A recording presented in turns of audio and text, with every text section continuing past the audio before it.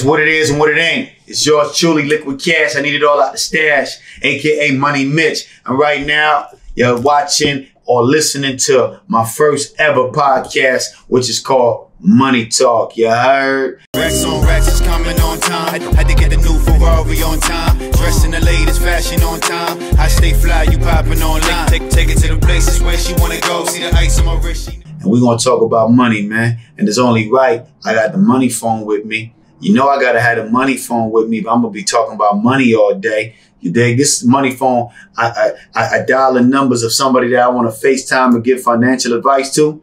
It's the money phone we call them up on. You dig? Make sure y'all know what it is. And hey, listen, I didn't bring it all out the bank, baby. I left some inside the bank. If y'all thinking and wondering, if I'm gonna be talking about money, man, I gotta have some money, right?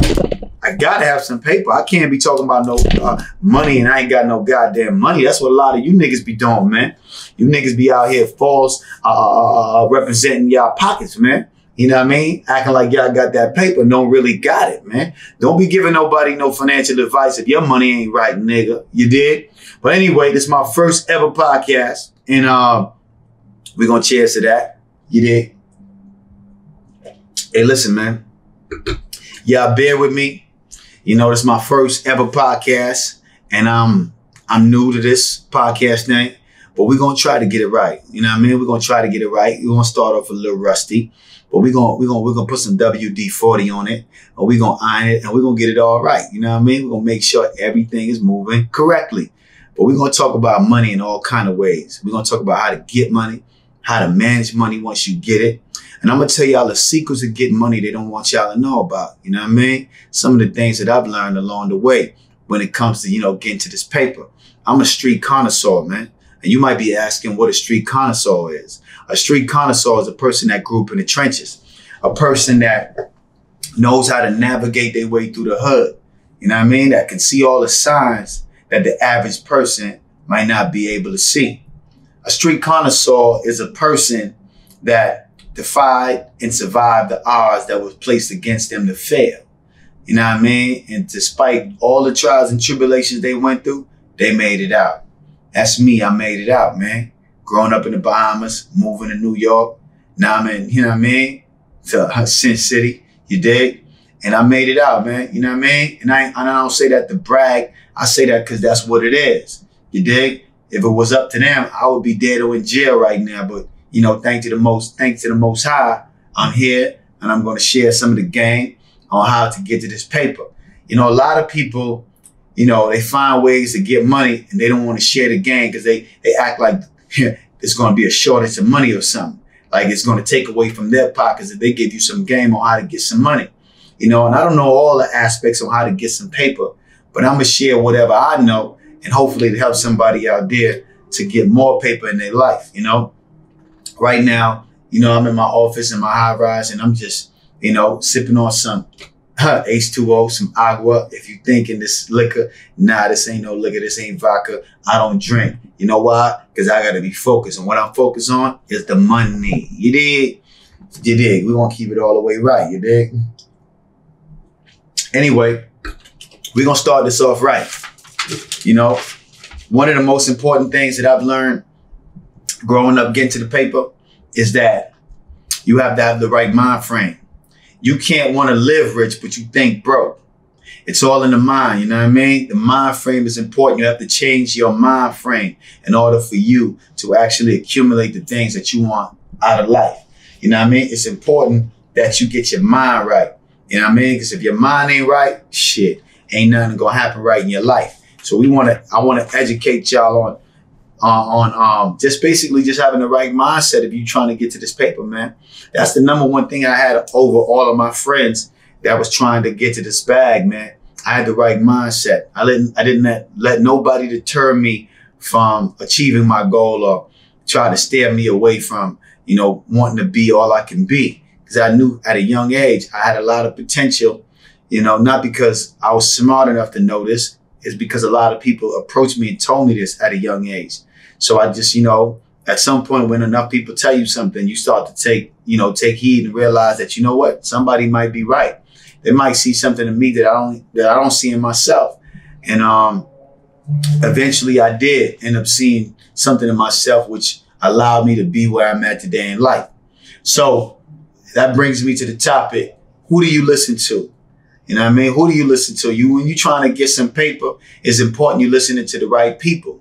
You know what I mean? You can't be listening to the Ray Ray up the block. You can't be listening to the homegirl that, you know what I mean? Just yeah, she work at the hair salon.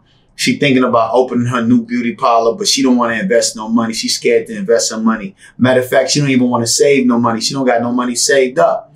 So, you know, she just talking and she just, you know, just wishful thinking. You know, so it's important that you don't listen to people who is not actually doing what they're trying to pursue. You know, you got to be in the, pro- the process of doing something or trying to pursue something in order for me to take your advice. Don't tell me how to get no money if you don't know how to, if you ain't got none. You know what I mean? If your bank account is on negative, you know what I mean? Bank of America is about to charge you that $35 because you're late. You're they gonna paying your goddamn bills. So yeah, you can't give me no financial advice. You dig? So it's important you listen to somebody who has what you want and been where you're at. You know what I mean? Somebody that came from the gutter like you, that came from the, uh, you know, poverty like you, but they made it out. They survived. And I came from poverty, you know what I mean? So I understand what a lot of people going through.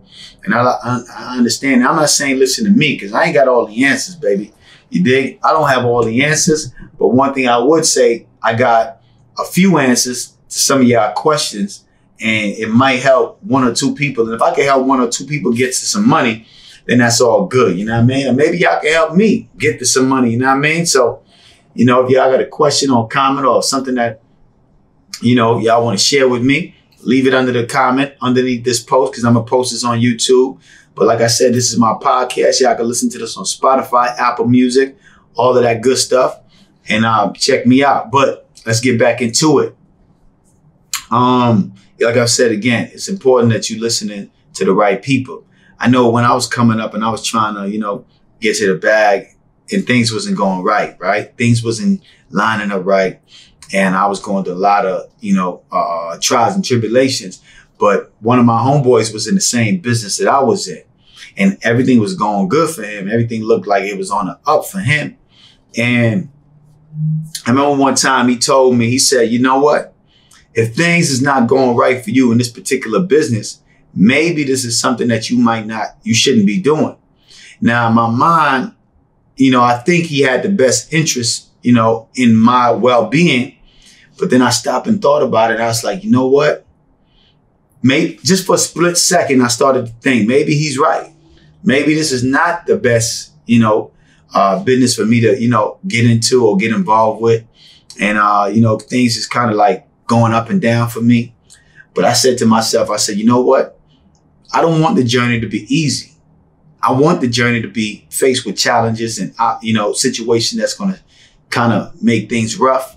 I didn't want a situation to be easy. You know what I mean? So even though things was not lining up right for me and things wasn't going right, I took on the challenge. I didn't give up. I kept moving. I kept pushing forward. You know what I mean? I didn't let his words of, uh, uh, uh you know, kind of like negative words really, because you try to tell me not to pursue something that I know that's a lot of money in. And you're trying to deter me from, you know, getting the bag kind of, you know, kind of, so to speak. You know what I mean? So I didn't let his words, you know what I mean, plant the seed of doubt or negativity in my mind. I brushed that shit off and I kept moving. I kept going because I knew you know, these difficult times was just, you know, challenges. You know, and I always like to say that you know, there's a, a there's a positive seed planted in every garden of adversity. So anytime you go through adversity, there's a positive inside of that, you know, uh, that garden that you just gotta find. And, and it's all about the perspective and how you look at things. So I took on the challenge and, you know, I'm here today because I didn't give up. You know, that year I made six figures and, and based on my grind and my hustle. But if I'd have listened to him, shit, I don't know where I would be right now because, you know, I didn't I didn't have another way out. I didn't know what else to do. So I stuck to it. And that year I made six figures, man. You know what I mean? Well over, I might have Shit, but anyway, let me not let me not, let me not say too much. But I made a, a lot of money that year. You know what I mean? And uh, that's just because you know I, I stuck to it, and that's what you got to understand is that delayed gratification. Things might not come when you you know plant the seed, but you got to wait for that you know that flower to blossom. You got to wait for it to grow. But you got to have the mind frame to understand it's going to take time. You did, and uh, once you do the right thing consistently, you're going to see the right results, the results that you're looking for. But you got to stay in a positive mind state at the same time while you're trying to achieve your goal. Stay in a positive mind state. You dig? That's very important. Don't be doubtful. Don't be thinking about the lack of not having what you're trying to pursue. Just focus on the end goal. And that's very important. Focus on the end goal. I'm going to keep on repeating that. Stay focused on the goal.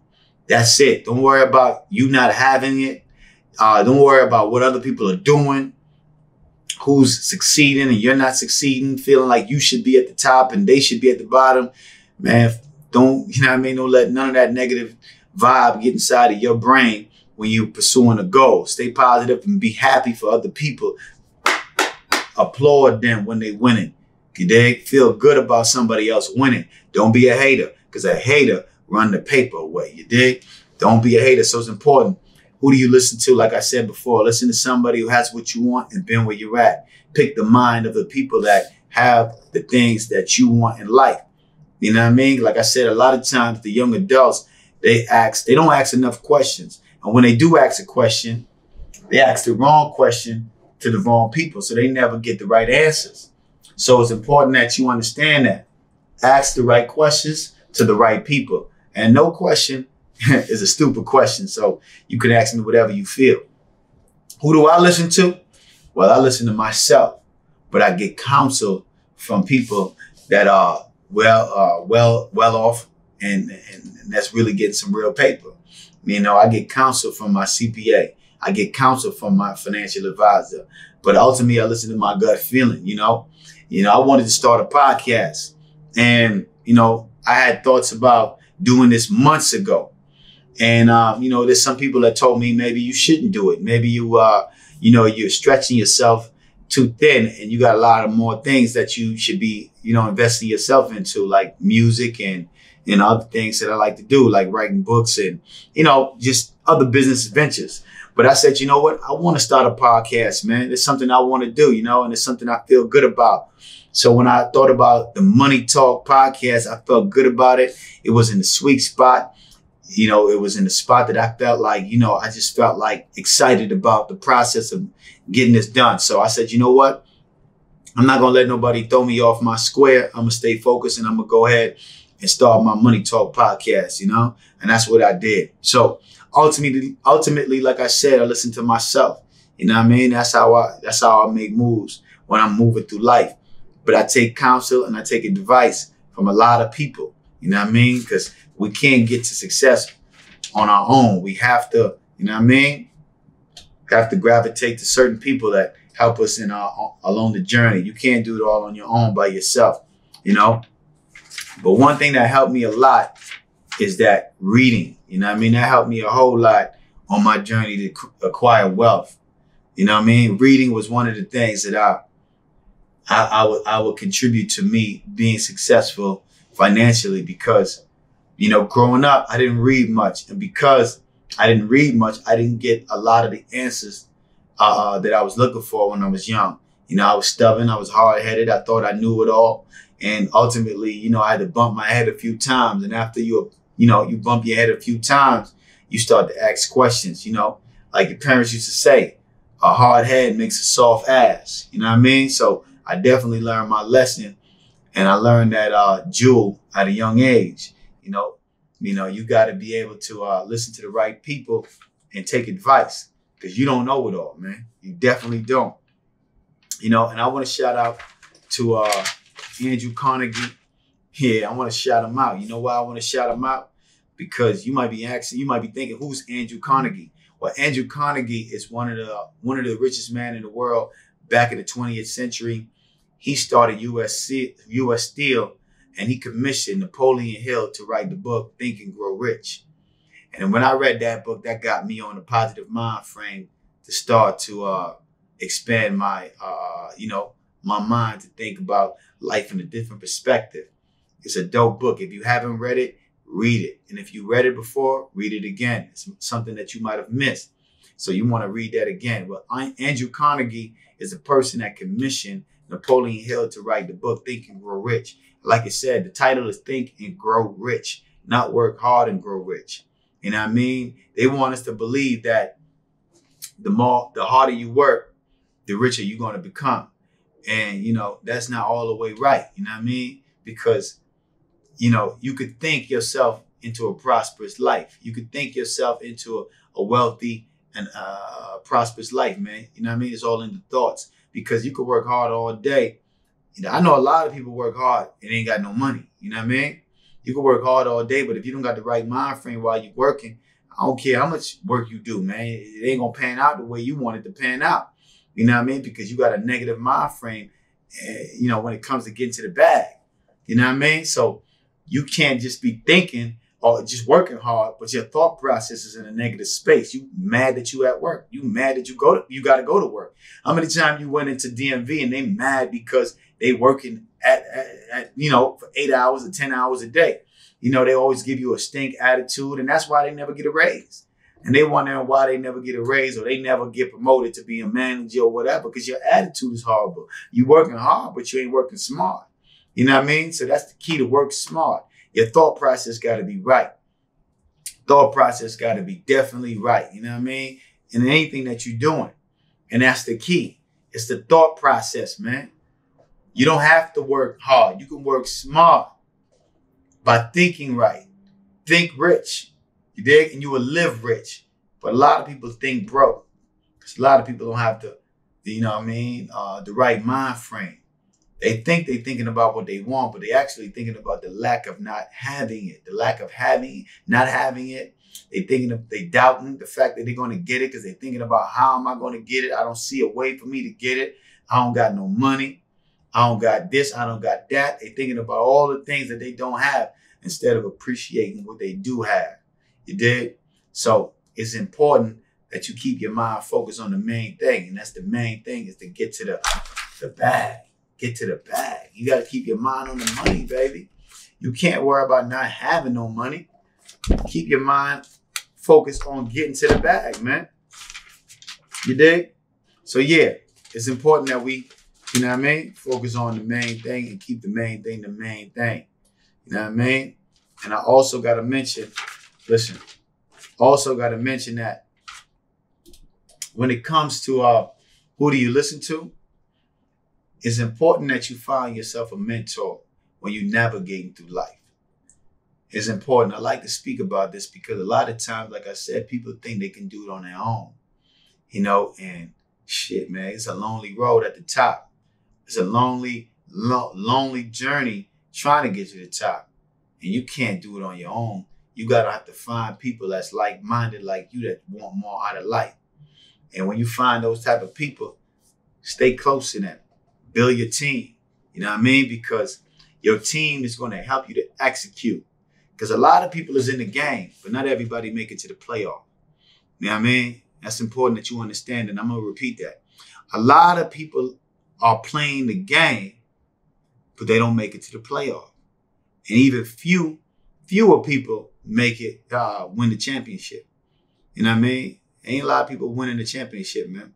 A lot of people end up in jail or end up dead trying to play this game, trying to play the money game, trying to chase the bag.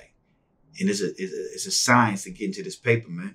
Some of the signs that I dropped, the jewels that I dropped just now in this video, and some of the things that most people don't want you to know. They don't want you to understand that the fact that in order to acquire wealth, you have to have a, you know, uh, the right mind frame. You have to have the right mentor. You got to find somebody that's doing what you're trying to do and pick their brain, be their apprentice. We don't use that word a lot no more. We don't use the word apprentice no more in our vocabulary. The last person that was using that word and running with that was Donald Trump. You know what I mean? He, he had a show called The Apprentice. But we got to get back to that, understanding, you know, we have to be, you know, a protege to someone who has what you trying to get. If you want to, if you want to be a plumber, you want to get into the plumbing business, or you want to be a welder, a welder, you have to be an apprentice to somebody first. You know what I mean? You can't just wake up one morning and say, I'm gonna be a plumber and I'm just gonna, you know what I mean, start working as a plumber and own my own plumbing company. You gotta be an apprentice to somebody first and learn the business. You know what I mean? You dig? So we gotta understand that who do you listen to is very important. You know what I mean? Who do you listen to is very important. If I'd listened to my homeboy, you know what I mean, back in the days, and maybe he meant well, but whatever he was saying was negative, and I didn't take his advice. If I'd have listened to him, I wouldn't be where I'm at today. So you have to listen to the right people, though. Find the right people and, and pick their brain. You can hit me up.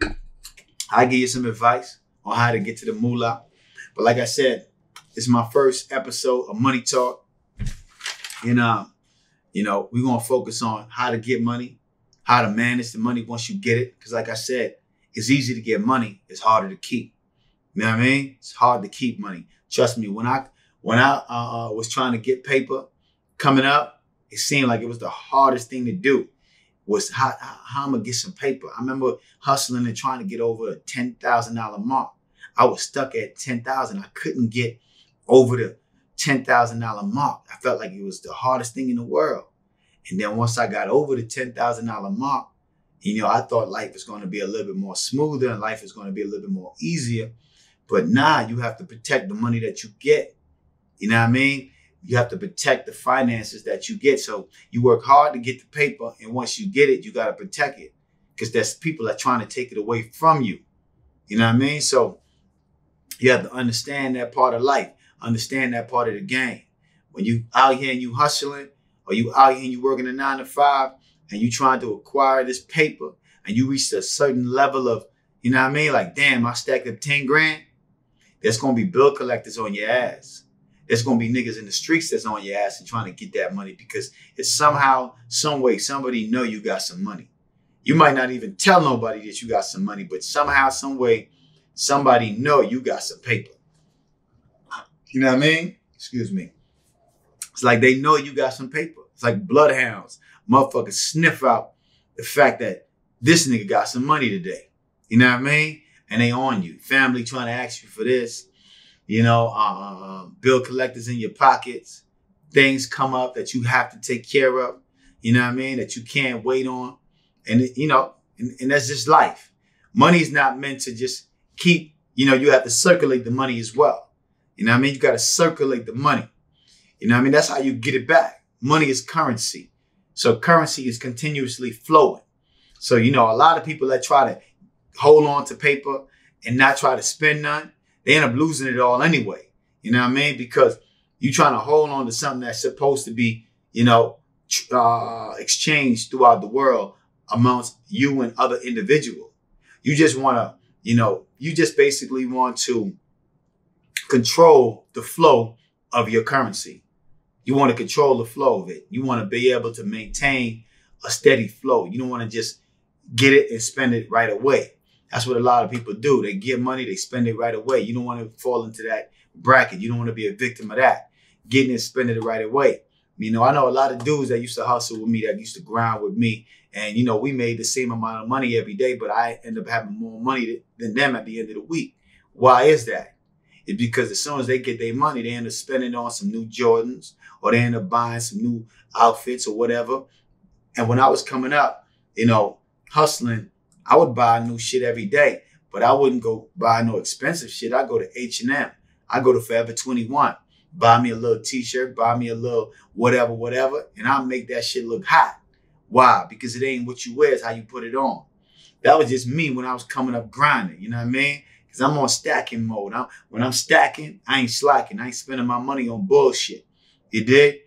Most of my homies, they buying the latest Jordans. I didn't give a fuck about no Jordans. Excuse my language, but this it is what it is. I didn't care about no Jordans, man. You know what I mean? I give me some Air Force Ones, and I was Gucci, all white, uptowns, New York City on a summer day. Shit, you ain't flying to me, and I don't care. I, you, I don't care what you got on. You got Gucci's on, you got Louis on, you got Jordans on. Once I got them crispy Air Force Ones on, all white, not a stain on that motherfucker.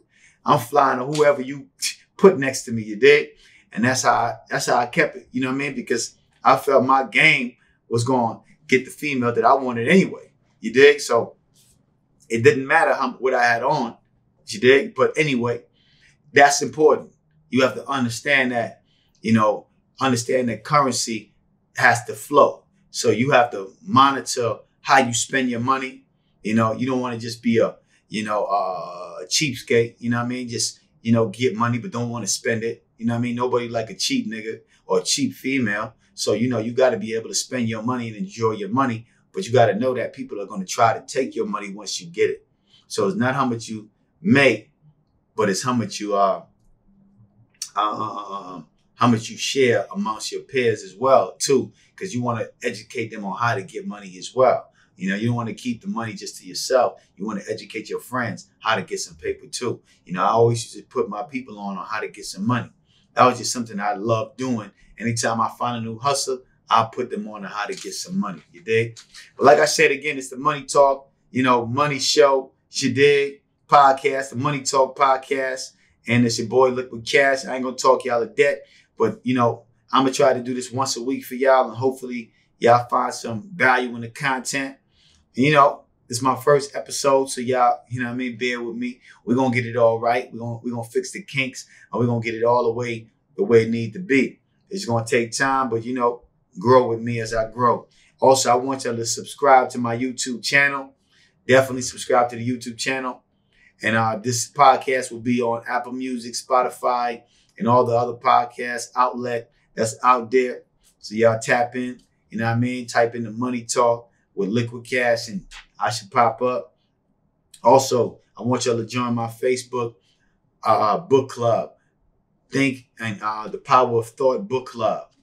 Definitely join my book club, the Power of Thought book club, where I'm going to be dissecting my book, The Power of Thought, getting more in depth in the book and explaining certain highlight points that I feel is valuable for the listener or the reader to really tap into. And we're going to dissect my book and other books in the future. The Power of Thought Book Club. Yeah, definitely join that. Also, I'm going to be dropping, you know, one of these podcasts every week. Every week or every other week. You know I mean? When I got time. You know I mean? I'm a busy man. So if I find time to do one of these podcasts, I hope y'all find value in it because I'm a very busy man. You know what I mean? Got a lot of things going on. Anyway, I want to leave y'all with this before I get up out here. You dig? Check it out. It's not what you eat, but what you digest that makes you strong. And it's not what you learn, but rather what you remember that makes you wise. And it's not what you earn, but what you save that brings you wealth.